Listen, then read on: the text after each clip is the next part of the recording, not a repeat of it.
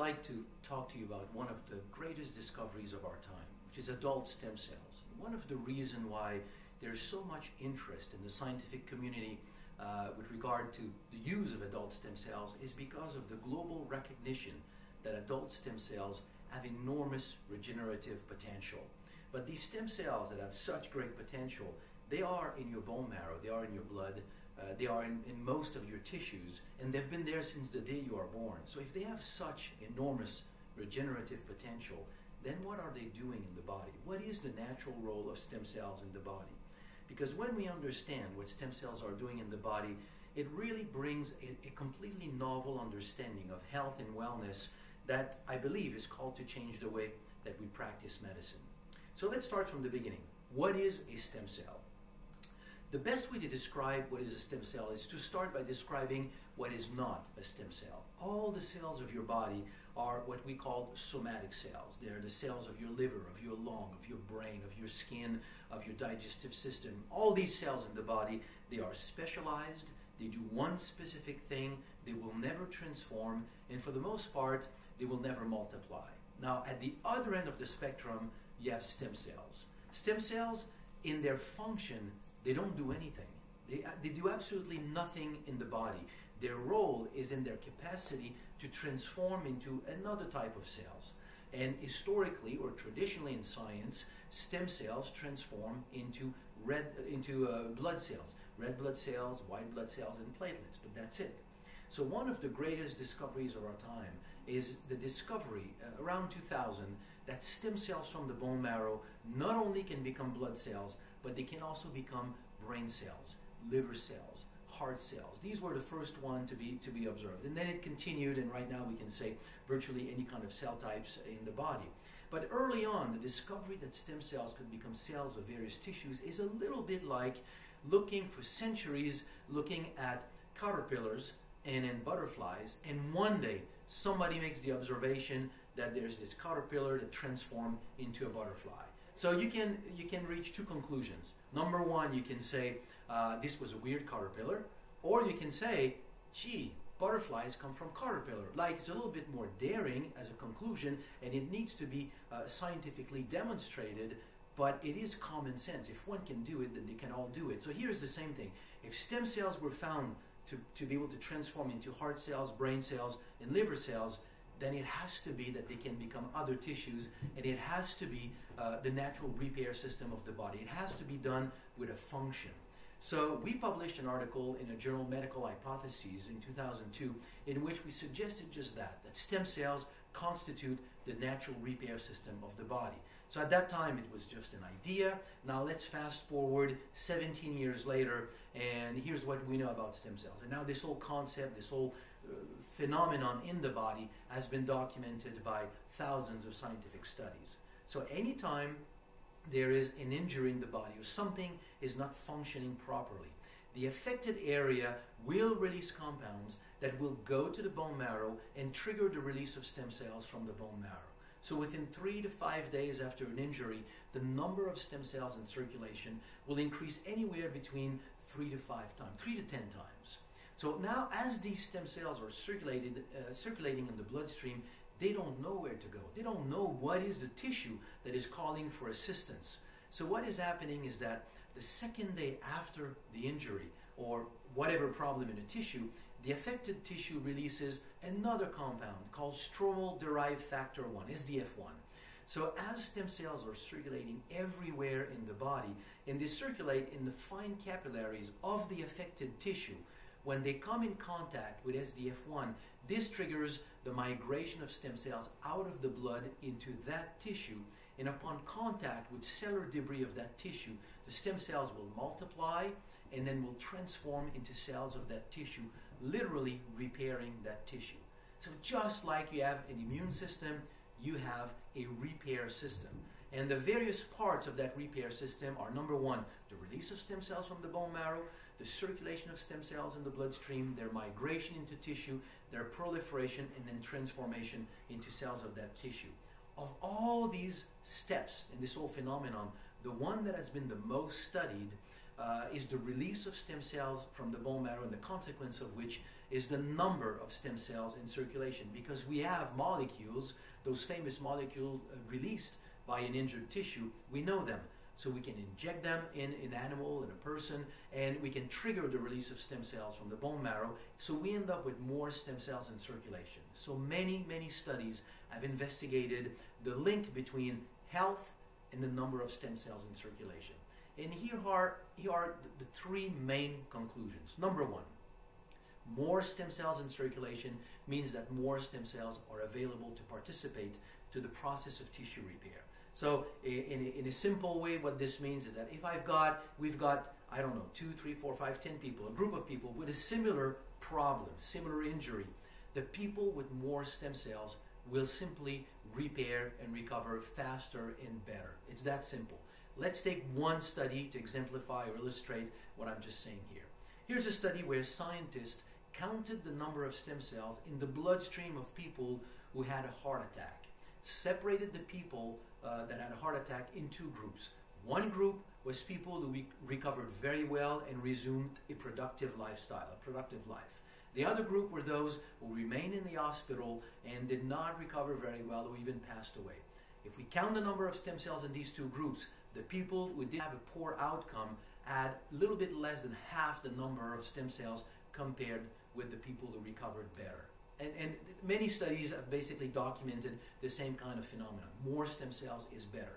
Now, once we discover this, then it sort of begs the question if we could increase the number of stem cells in circulation, could we then enhance the ability of the body uh, to repair? Uh, and many studies, again, have been published here. Let me use one of them. This is a study in which scientists triggered heart attack by blocking blood flow to the heart. Then they let the animal recover. They separated the animals in two groups. One group was controlled, to which nothing was done. In the other group, uh, they injected those compounds known to trigger stem cell release. So this group had more stem cells in circulation for 8 to 10 days.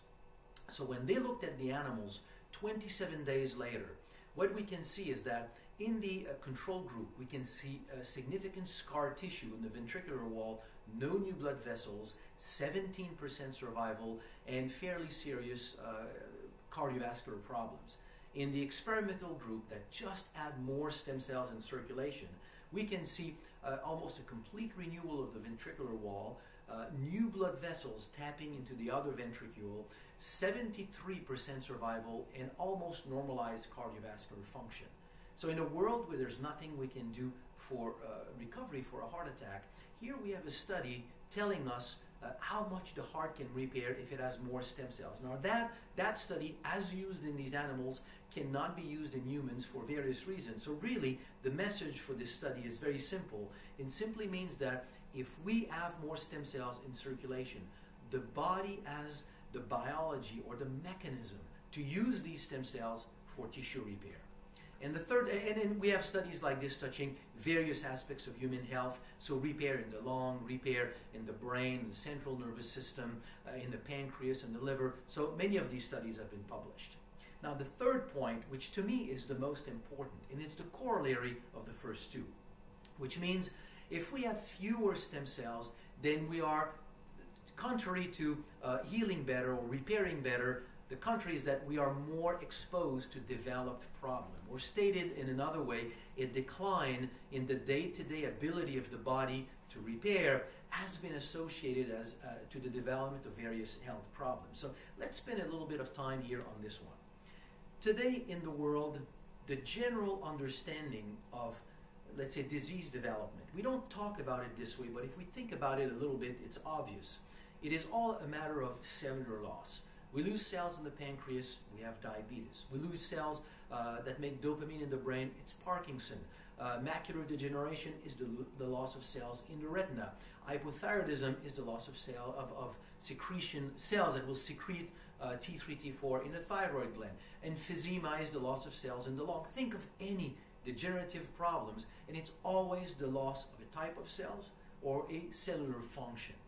And what ha- and so what happens is that we are born uh, and then we mature. When we, we reach 20, 25 years of age, uh, we reach optimal health, and then from there it's a slow decline. And as we lose cells, the place where we lose more cells is where the problem will express itself. It's a little bit like saying you're born with a certain amount of money in your bank account, that's your genetics, and we tell you use it, spend it wisely, and that's your lifestyle. But all the research on stem cells is actually telling you that that's not the case. Health is a balance between two phenomena. On one side, we have cellular loss, but on the other side, we have tissue renewal with stem cells. So as we are as we are young, so it's a little bit if I take back my banking analogy, it's more like saying during your entire life you've got a regular income of stem cells as long as it matches your spending, your expenses in terms of cellular loss, then you're fine. When you're young, you have a lot of stem cells, so you repair very well.